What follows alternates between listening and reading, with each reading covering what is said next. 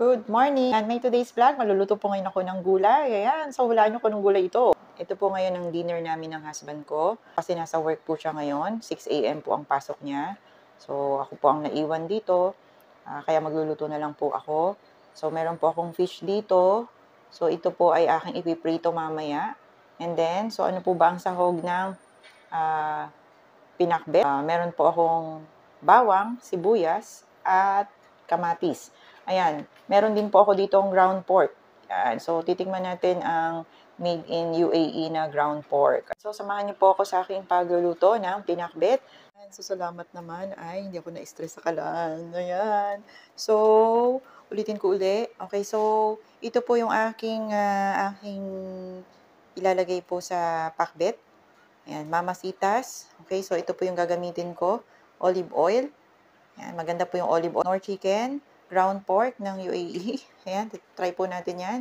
Kamatis, bawang, sibuyas. At, ayan, pinakbet. At, ayan, ako, maraming salamat at hindi ako na-stress sa kalan. Kasi ako lang po mag-isa dito, kaya, ayan, buti na lang. Napasunod ko ang kalan. So, ilalagay ko na po itong olive oil. Then, itong olive oil. Mura lang po dito ang olive oil, kaya kukuha lang po ako ng panggit. Ito, ito, sandok. Yan, ito po. Yan, kuha lang po ako ng sandok. Okay, so after po niya, ilalagay po natin itong bawang.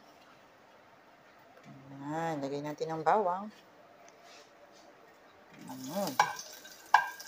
Yan. Pwede kahit konting bawang lang yung ilagay o gusto nyo ilagay nyo lahat ng bawang, pwede rin. Huwag nyo lang susunugin. Ayan. Now, pagkatapos, ilagay po natin itong uh, sibuyas, onion. Ayan, lagay natin, ano? Ayan. Lagay natin ito. Ayan. So, nilagay ko rin po dito yung kamatis. Ayan. So, hintayin po natin yan. Mamaya-maya ilalagay po natin itong ground pork. Ayan. Ayan, so ilalagay na po natin ang ground pork dito. Ayan, buhos na po natin dito. Buhos natin ang ground pork. Ayan.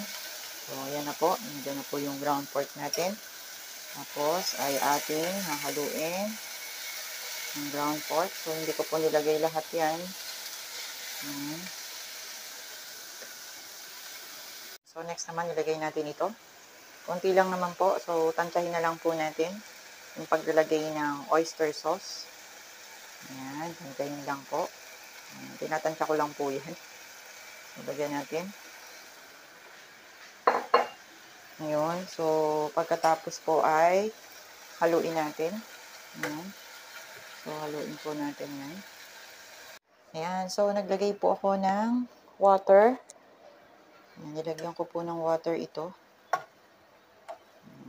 So, pakuluan ko lang po mamaya. Uh, pakuluan ko lang po ito ng at least 3 minutes. Antayin po natin mag 3 minutes. So, gawin natin, takpan natin. Ayan. Takpan po natin. Antayin natin. Ayan. Takpan natin para madaling lumambot ang ground pork. Ayan, so ito yung nor chicken, ilalagay na po natin. Yung isang buo, ako po kasi isang buo nilalagay ko. Ayan. Okay, so, pagkatapos natin ilagay, so haluin natin. Ayan, ang nor cube. Oh, masarap na masarap po yan. Pagka nilagay natin ang nor cube, sasarap ang ating luto. Promise. Ayan. So, next naman po natin, so ilalagay po natin itong gulay dito sa Ayan. After po napakuluan na, so ilalagay po natin itong sari-saring gulay. Ayan. So, nilagay na po natin ang mga gulay. So, hintayin po natin itong kumulo. So, tatakpan po natin, ano? Ayan. Takpan po natin, ano? Ayan. So, kumukulo na po. Kita po natin, ayan, kumukulo na. So, half cook lang po natin yan para masarap kainin. Ayan. So, luto na ang ating pinakbet. Meron na kaming dinner. So, susunod ko naman po, magpiprito po ako ng fish. Ayan. So, ito yung isda na ipiprito ko ngayon. Wish ko lang na huwag tumalansik. Ayan na! Ay, ako, tumalansik na. Ako, yan ang ayaw ko talaga. Yung talansik ng isda. Ay, pala ka mo.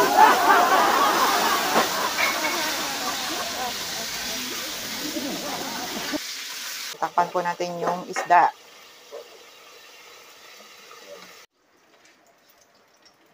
Piniritong fish at luto na rin po itong yan, gulay. Ayan. So, yan po yung aming dinner mamaya ni Honey.